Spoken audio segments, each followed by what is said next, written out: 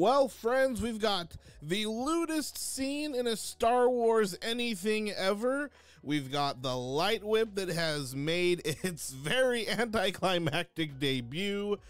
And, well, what else do we have with this sixth episode of The Acolyte?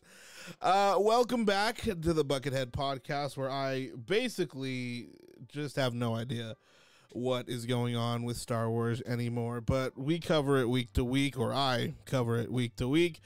Um, last week with the Acolyte, if you saw my last episode, I really liked it, and since then I've kind of fallen into the category that uh, Kamir, Quimir, Kumir, I, I can't pronounce his name, is actually going to be founding or the leader of the Knights of Ren.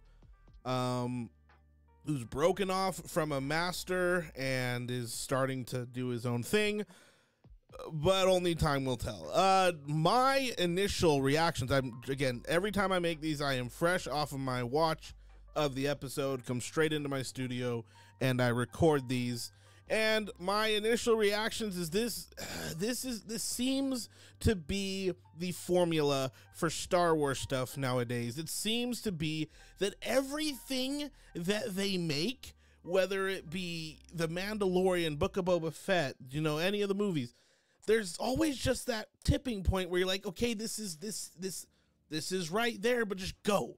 Just go. And that is what a lot of the exposition in this episode felt like. This felt a lot like episode four to me. Um, there was a lot of exposition, a lot of chances for some really good stuff to be said, some really good interactions, some good character development, and I felt we got that with Kamir. But honestly, man, I even with what happened with Osha, the act, the oh my gosh, the acting is so bland. The the performance from the actor who plays May and Osha is just so there's nothing there, man. I I don't buy anything. Like I'm not rooting for the character. I don't hate any of the either of the characters. I just don't care, man. Um so I I don't really try to go beat by beat with this entire with these episodes. Um but just opening up it starts off May waking up on this island on the on the on the I can't even remember the name of the planet, but uh, on the planet, and it's a lot of B-roll of the environment, which I really liked, and they focused on these little animals that are I'm going to say practical effects. I got huge Octo vibes, huge Octo vibes, Octo vibes from the Last Jedi. Uh, I didn't mind Octo the Last Jedi is not my favorite Star Wars movie, but I like seeing practical effects in Star Wars. That's always going to be a plus from me. Now, Osha is essentially just following. Did I say May or Osha at the beginning? I must have said May. Osha is following uh Kamir as he's going on about his stuff. And I checked Twitter after this episode to kind of see what the general consensus is half of the people are dogging on the episode, and the other half don't even care about what happened in the episode. They just care about Kamir's shirtless, naked scene. That's all they care about. And when I saw that, I was like, I saw the scene happen. I was like, okay, he's gonna take a bath, whatnot. But for me, I'm like, I I need I need scenes to have a point and a purpose. He got naked to swim out 10 feet just to turn around and come back. This honestly could have been a meditating scene. Yeah, he could have been shirtless for the fangirlies or whatever, but I'm like this this went nowhere. This had this had no point or purpose to it for him to go swim and then just come back and be like, "Well, if you're not going to join me, I'd like to put my clothes back on." And again, this is to me uh, moving past that scene, I this is where a lot of the dialogue just was not hitting for me. Um, but some of it did. There was one scene where Kamir is telling, like, Osha's like, Why did you bring me here? Are you holding me captive? And he's like, You're the one with the weapon. And Osha's got the lightsaber. And this is a big gripe for me. Why are these lightsabers so thick? Like, I have a Kylo Ren uh, Black Series Hasbro saber. That thing is chunky. My hands aren't the biggest, but that thing is chunky, even for Brady, who is six foot two, got alien fingers. That saber is chunky. Why are these sabers so thick? I don't get it. Um, that was one thing that just I'm like, okay, whatever. Um, but two, that was that was a really good bit of dialogue where Kamira's like, "You're the one with the weapon, not me. What are you talking about, bro?"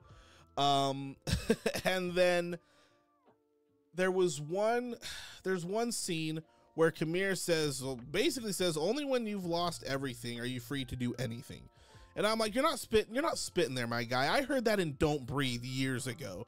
I'm sure that line has been from other things way before that, but I heard that in Don't Breathe. Um, and so I'm like, you're no philosopher, my guy. What is this? Uh, a lot of this though feels to me like AI wrote it. Like twice, twice it's the same in the in one episode. It's the same type type of exchange where Osha is like, "Why did you bring me here?" And Kamir goes, "Why do you think I brought you here?" And then later, when Osha asks Kamir about the scars on his back, she says, "How do you get? How did you get th- that scar?" And he goes, "How do you think I got this scar?" It's like, motherfucker, I don't know. That's why I'm asking you. Like, I would have much rather him go into some crazy, deep, dark meaning behind it. But everything, obviously, being a murder mystery. Oh, was it Sol or was it the green face lady? You know, who is who is his master? This and that. Well, we get confirmation that Kamir was a Jedi a long time ago. Now, this to me is interesting because you know their exchange, Osha and Kamir's exchange. She's like, "Are you were you a Jedi?" He says, "Long time ago." Well, I've never heard of you. It was a long time ago. So maybe Kamir is actually older than we think he is, or that they're putting on, because from what we're understanding, or what I'm assuming, is that Kamir is like the same age as Yord if not a little older. But he they're putting on that he's way they're laying it on a lot thicker that he's older than what we're than what we're seeing.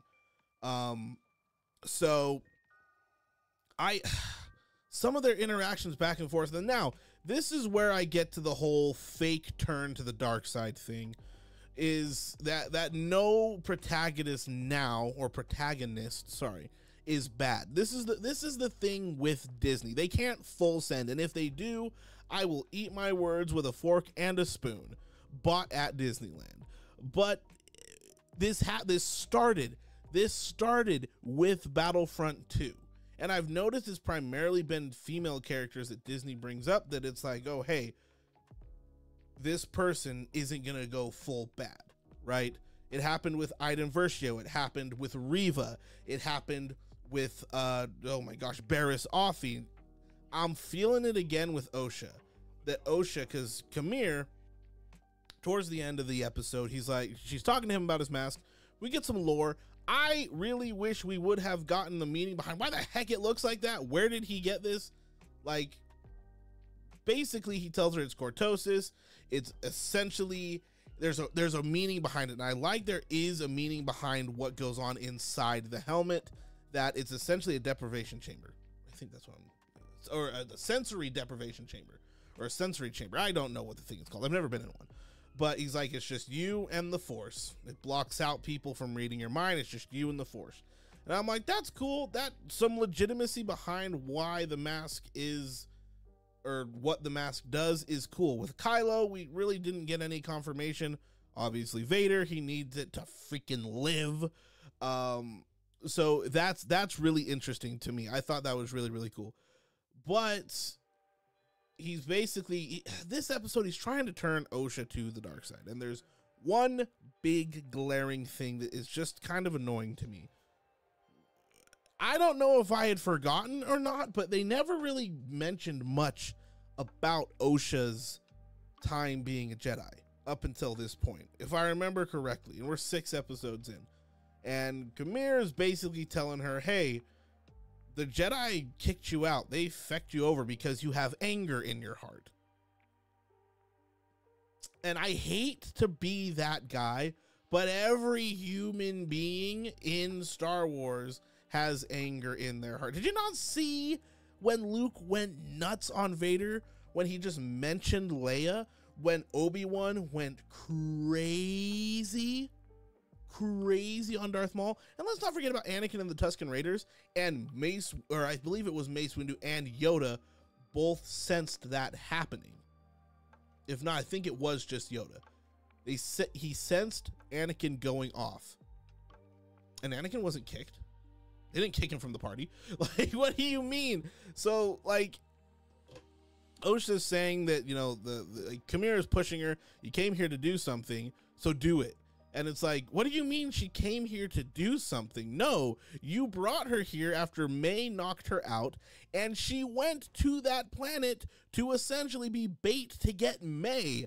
They had no idea that you that you were there until you jump scared them. Like, what do you mean? I, but anyway, he's making May hold the hilt against his chest and said, or May, Osha, um, making her hold the hilt against his chest. He's like, "Hey, turn on the lightsaber, press the button, blah blah blah. Here it is. It's right here. You you want this? Do it." Um, and he's pre- pressing her, and he's like, "Why did the Jedi get rid of you? Why did the Jedi get rid of you?" And she's like, "It's because I failed." And I'm like, like this again, this again. I wish that the story was that she's just fine being a civilian, but everyone is just pushing her to be a Jedi or to acknowledge her Jedi past when she just wants to get over that. And she finally is just like, bro, leave me alone. But obviously, Kamir is trying to have her be his acolyte. And I, there's three different theories here that I have. And one is that uh, Kamir is somehow going to feck off at the end of the show, create the Knights of Ren. They're going to go uh, underground. And you may be wondering, like, why am I pushing so hard for the Knights of Ren? Well, I actually did make a video of this a while ago saying that they make no sense because, in a nutshell, in order to lead the Knights of Ren, you have to be will you have to have won the Ren in combat. You have to defeat the uh, previous owner of the Ren, the lightsaber, and you know be wielding it. But in their own book that Disney created, Kylo defeated the previous owner of the Knights of Ren and then destroyed the Ren. So the followers of the Knights of Ren or the Knights of Ren only follow who possesses the saber. But again, it's probably just another dark saber thing that Disney and Dave Filoni and Kathleen Kennedy don't know what the heck they're doing. But anyway, there's that. There's uh, a theory that uh, that I saw online actually that it's going to be Osha, Sol, and uh, what's her name, May. They are going to go after Kamir. Sol's going to end up dying, but Osha and uh, May are actually going to kill Kamir, and then the Knights of Ren are going to pop up later down the road or something like that. Um, and then the other one is that it's going to be found out that, that I saw that it's going to be Sol and Kamir versus Osha and May.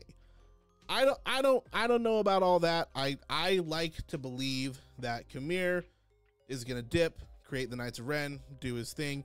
But as we know, when we get an actual compelling character in Star Wars, they're getting killed. How many people started rallying behind Kylo after The Last Jedi because we got depth to his character and he started doing cool stuff and then he gets killed off? How many people, hell, how many people liked Jecki from the jump and then she gets killed off? Like, I'm, I don't, I don't know, man. I don't know. Now, on the screen, obviously, we see the light whip and, uh, I'm not a fan of the light whip. I've never been. People are like, oh, it's in the comics, it's in the books. Just because something is in the books or in the comics doesn't make it good. It doesn't. I I, I do not care. I, I I don't like the light whip. It doesn't. I don't like it at all. And it gets its good debut when Green Face Master whips whips it out and then kills a, a bug that comes down behind her. We have this epic shot in the trailer and all this hype behind the light whip and all this chatter, and that's what she does with it. Well, people are theorizing that Kamir was actually Green Face Lady's apprentice and that she marked him before he got kicked out or before they threw before he got thrown away. Um I, I I would like to believe that because that just intertwines a bit more and she did kind of seem sketchy during this whole thing Um, when she saw the lightsaber holes um, and lightsaber marks on everybody, I maybe this is me reading into it a bit too much, but she could kind of you. It looked like the wheels were starting to turn. That it wasn't Sol, that it wasn't one of the Jedi that were there, but it was Kamir. Um, that that to me is kind of like okay, Luke Skywalker vibes with his temple and all that stuff. Now, speaking of Luke Skywalker in the sequels, to me, this is how Kylo should have been with Kamir. How he, I hope, did it pisses me off. I hope there's some sort of something down the line showing what Kylo did at the temple, at Luke's temple, because how Kamir decimated those people in the last episode to me is how Kylo should have been. But you know, whatever. But yeah, I just I don't know, y'all. I don't know. This this show or this episode to me, it was all right. It was all right. Uh mainly because I'm like the dialogue and the and the and the and the exposition and stuff like that. I'm like, okay, it's getting interesting, but just cap it off, man. Come on. Sell me on this. And maybe it again, it's some of the acting. Um I forgot to just to even mention the whole Sol and May thing. Uh, long story short, Sol finds out that it's May, phases her or stuns her, locks her on a table, and is like, Hey, I thought for 16 years what I would say to you if I ever got the chance. So you're going to listen to me. We have a lot to talk about. We're to find that out in the next episode. I. I there's still so much they need to cover and with these episodes only being like 30 minutes man it's like they end these on cliffhangers and it's not even a cliffhanger. It's not a cliffhanger. It's like okay you just spent 30 minutes building up something that should have been built up within the first 15 or something like that. But no like oh i feel i i don't know. I don't know. Like i'm like okay finally like we found it's found out that it's may which she has a white tattoo on her forehead how would you not be able to clock that the second you get on the ship? The one thing, and maybe I missed it, I watched it back, maybe I did miss it, but when Sol dips, I think it was so he could interrogate and come up with a plan for May. Um, he stuns her. They say, "Don't turn off your transponder." He turns it off, dips out. Then the the rescue party shows up, and I'm like, oh, "What's going on here?" But you know, it's probably just so he can talk to May and then have a plan and go back and fight. Because he does tell me he's like, we have to find your master, we have to go after your master, and we have to rescue Osha. Now going forward again, the Osha turn, I'm not buying it because so many times before we've gotten these fake outs where someone's gonna turn, like even like with Rey for the the the, the two movies that we had, there were so many hints and nods and teases to Rey turning, and ultimately she doesn't. Um, but yeah, the end of the episode is May putting on, or oh my gosh, Osha putting on, excuse me, putting on the helmet, uh, Kamir's helmet, and she's kind. You can kind of get the sense that she's like, it's almost like she's floating in an empty room, and she's, you hear her breathing and stuff like that. And then it does that Star Wars' is weird circle fade transition um, to the credits, and she's still breathing, and I'm like, oh, okay again, I'd be psyched for this if we hadn't been burned before with dark side fake outs because like you know what I mean. Um, but yeah, what did y'all think? Let me know down below. I really wanted to like this episode. It had traction from the fir- uh, from the fifth episode, and they kind of just like again to me. Star Wars doesn't have to be lightsabers and space battles and fighting all the time if there's good exposition and a good story. The stuff that they did in this episode could have been great and extremely engaging and interesting and captivating but some of the line delivery and some of the dialogue just did not hit for me. Like i'm like why why are you saying this? Why don't you just say this? Like what the heck? Anyway that'll do it for this episode. If you like what you saw want to see more let me know down below and i will see you all with another episode recap review whatever you want to call it next week my friends